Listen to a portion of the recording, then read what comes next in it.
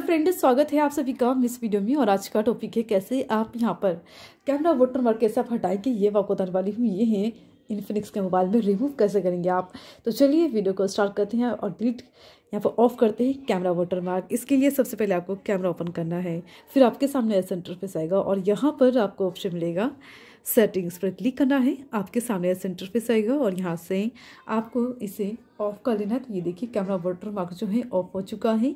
तो यहाँ से आपको कैमरा वाटर मार्क को हटा लेना है और ये हो चुका है रिमूव एंड ऑफ़ तो ये था कैमरा वाटर मार्क सेटिंग अगर आपको वीडियो अच्छा लगा है तो लाइक कीजिएगा शेयर कीजिएगा एंड सब्सक्राइब कीजिएगा। मिलते नेक्स्ट वीडियो में।